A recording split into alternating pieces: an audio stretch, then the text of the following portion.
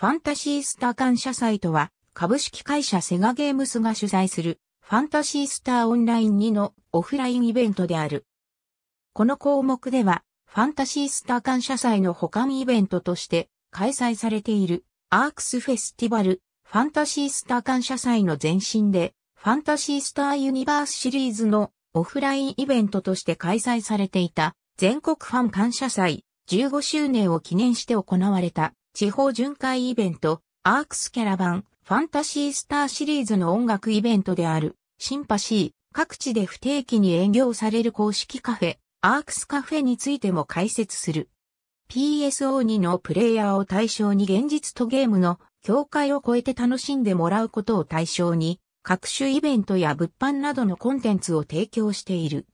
また、決勝会場及び一部予選会場では PSO に放送局の公開生放送も実施しており、最新情報を会場で知ることもできる。単独のオンラインゲームのオフラインイベントとしては、国内最大級であり、運営会社単位としてもガンホー、オンラインエンターテイメントが開催しているガンホーフェスティバルに匹敵する。会場内では、当イベント最大の目玉として、アークスグランプリ、またはアークスバトルトーナメントが開催されるほか、PSO2 のキャラクターやアイテムを模したコスプレコンテストや入賞した作品は、実際ゲーム内アイテムとして公開されるアイテムデザインコンテストなどが開催される。入場は各会場とも無料で、2014年までは入場時の検査等は行われず、一時退場時にスタンプを押して再入場時にライトを照射し、確認を取る方法のみであった。しかし2014年に発生した AKB48 握手会障害事件の影響や口述のシンパシー2015での爆破予告騒動の対策として2017年以降は入場時は荷物検査が実施され、再入場時は戦術のスタンプ方式や入場時に配布されるアークスカードを提示する対応が取られている。さらに2019年に京都アニメーション放火殺人事件やジャンプビクトリーカーニバル2019での火災放射事件等尾を使用した事件が相次いだことや決勝会場が2020年の東京オリンピックパラリンピック会場で使用されることなどから同会場では以下の通り荷物検査が強化された。なお、ゲーム内アイテムコードの転売対策も兼ねて一度入場した場合は再入場口からを除き入場することは原則不可となっている。2013年 PSO にサービス開始1周年を記念し、ファンタシースター感謝祭2013として開催され、アークスグランプリやコスプレコンテスト、アイテムデザインコンテストが行われた。アークスグランプリは、主要5都市とファミ通カップによる6つの予選会を実施。勝者は各予選会同様決勝大会へ進出することができた。このうち、ファミ通カップは、アークスグランプリのみのため事前登録者のみが参加できたほか、決勝大会が行われた D ファリアケは、収容人数の問題から事前に申し込みを行い、当選者のみ入場が可能な招待制となっている。ファミ通カップを除く6会場のうち東京会場と決勝会場では PSO に放送局の公開生放送が行われている。2014年 PSO にサービス開始2周年を記念し、ファンタシースター感謝祭2014を開催。予選はファミ通カップが廃止され、主要今年のみとなり、前年度の来場者の多さに対応するため、各会場が大型化された。また、各地のキャラクターとタイアップを行い、それに関連したゲーム内グッズを各会場の特典として来場者に配布している。6会場のうち東京、札幌、決勝の3会場で PSO に放送局の公開生放送が行われている。なお、6会場合計の来場者数は延べ4万7千人であったことが翌年の正月に報告された。2015年2015年はアークスキャラバン及びアークスフェスティバル2015が開催され、下記にファンタシースター感謝祭は行われなかった。しかし、アークスキャラバン実施中の PSO に放送局内で、プロデューサー、坂井聡が2015年度内に開催する予定であることをほのめかしている。2016年アークスフェスティバル2015において、冬から初春にかけて、ファンタシースター感謝祭2016が開催されることが発表された。予告では2015年度内としているが、決勝が2016年3月開催のため2016となり、2015は欠番となっている。地方5会場では、以下のご当地にちなんだゲーム内ラッピーグッズが配られた。また、決勝会場では、ハローキティとのコラボにより、ハローキティのゲーム内グッズが配布された。6会場のうち福岡、大阪、決勝の3会場で PSO に放送局の公開制放送が行われている。決勝が初春に開催されたことから、下記はアークスフェスティバル2016が開催されている。2017年 PSO にサービス開始5周年を記念し、ファンタシースター感謝祭2017として開催、時期が2014年以前と同じ夏に戻された。全会場において、後藤人形とのコラボとして特別展示作品、月の光が公開された。地方5会場では、以下のご当地にちなんだゲーム内、ロビーアクションが配られた。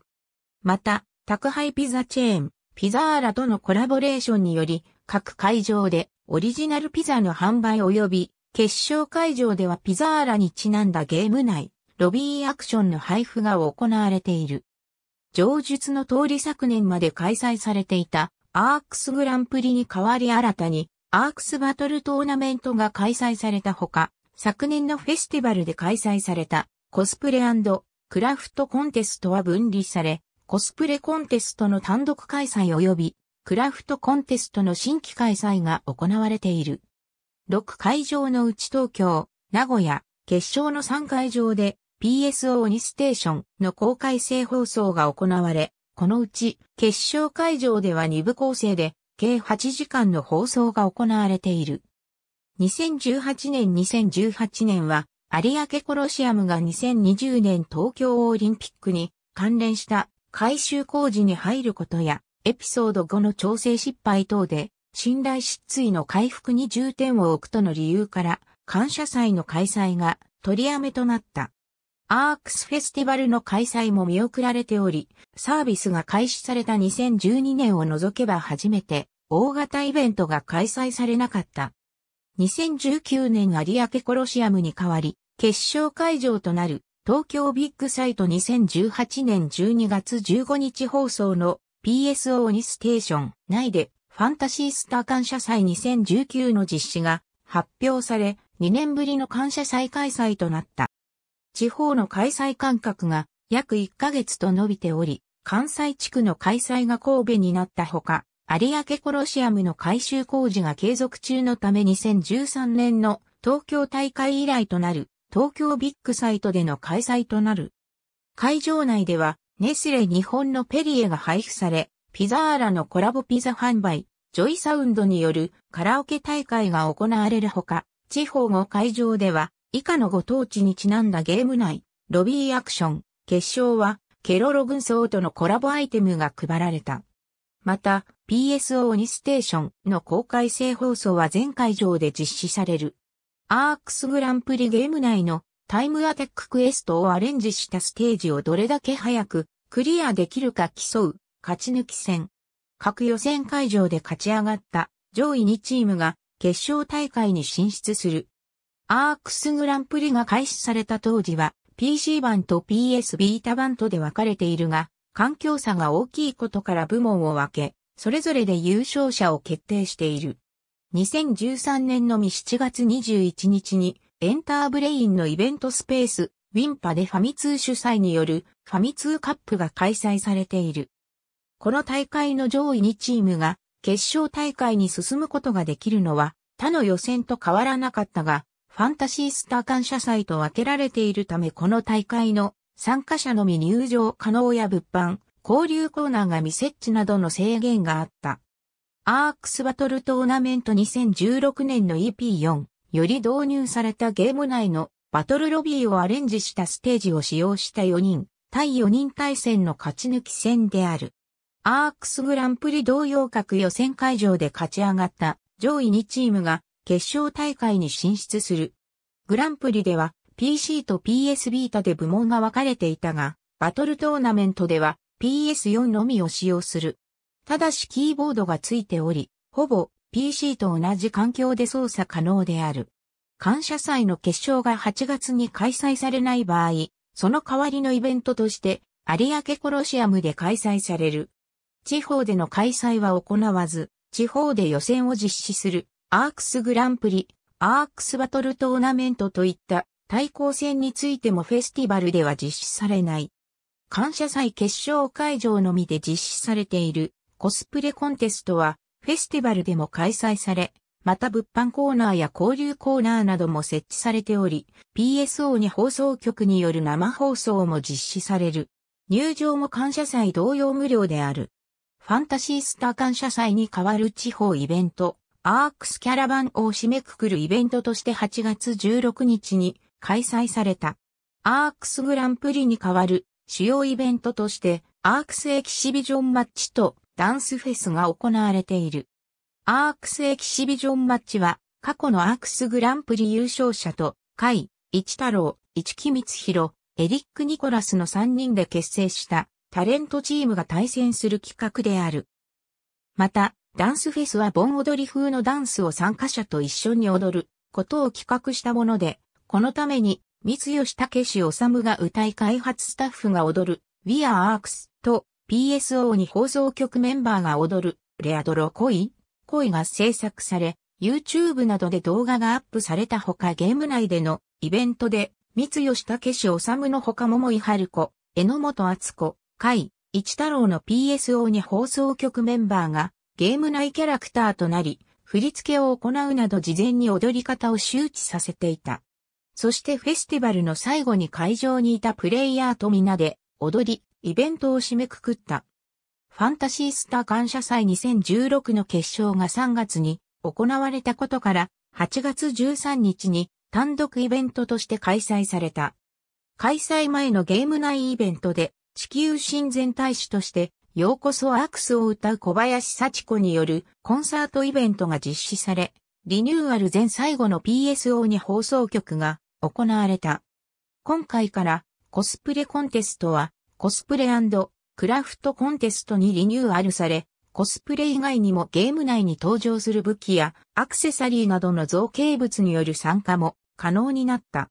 去年同様、エキシビションマッチも実施され、海、一太郎のチームと一木光弘のチームに分かれ対抗戦が実施されている。紅白歌手でありあでやかな衣装で注目されている小林幸子のコンサートイベントが無料ということもあり、来場者が多数訪れ、早いうちに座席がほぼ埋まったことなどから入場制限が実施されている。この PSO2 放送局で、桃井春子、榎本敦子、甲斐一太郎が PSO2 放送局を卒業した。ファンタシースター感謝祭の前身にあたるイベント。PSP で提供されていたファンタシースターポータブルシリーズ関連のイベントである。アークスグランプリの前身である対抗戦も2010年はリトルウィンググランプリ、2011年はインフィニティグランプリとして行われている。2010年2010年及び2011年の決勝大会の会場となった秋葉原オックスファンタシースターポータブル2のプレイヤー向けに開催。リトルウィンググランプリの予選会として、東京、大阪、福岡、名古屋、札幌の各都市及びファミ通主催によるファミ通カップが開催され、各予選の勝者は決勝大会に進出した。このうち、ファミ通カップは、リトルウィンググランプリの予選のみ、開催のため一般参加者は入場不可である。2011年ファンタシースターポータブルにインフィニティのプレイヤー向けに開催。インフィニティグランプリの予選会として上記5都市ファミ通カップにニコニコ動画主催のニコニコ動画カップが加わり7予選が開催される予定であったが2011年3月11日に発生した東日本大震災の影響で2都市での開催が中止となり5つの予選会に勝ち上がったものが秋葉スクエアにて開催される決勝大会に進出した。なお、ファミ通カップ及びニコニコ動画カップはインフィニティグランプリの予選のみ、開催のため一般参加者は入場不可であり、さらにニコニコ動画カップはニコニコ動画ユーザーのみエントリー可能であった。この感謝祭より物販が行われるようになったほか、大塚製薬の栄養食であるカロリーメイトとコラボレーションを行っていたことから、インフィニティグランプリの参加者にカロリーメイトが配られた。また、東京と大阪では、ケンタッキーの出張店が会場に出店している。2015年は、ファンタシースターオンラインのサービス開始から15周年であったことから感謝祭に代わるイベントとして、アークスキャラバンが開催され、これまでの主要5都市に代わり広島、仙台、徳島、新潟、沖縄の各地方都市を巡回するイベントを行った。このキャラバンでは、アークスグランプリなどのイベントは開催されなかったが、物販は実施され、また全会場で PSO に放送局による公開制放送も実施されている。